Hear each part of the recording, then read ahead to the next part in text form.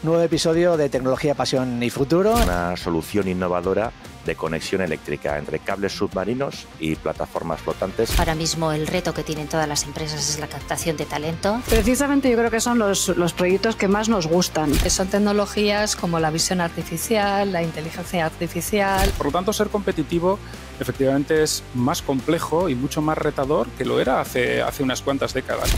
Eh, nos acercamos, yo creo que rápidamente de una forma muy acelerada a lo que va a ser eh, la sociedad 5.0.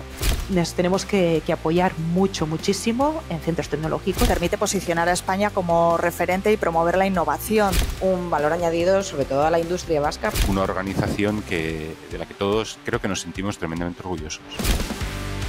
El podcast de Tecnalia. Tecnalia en podcasta.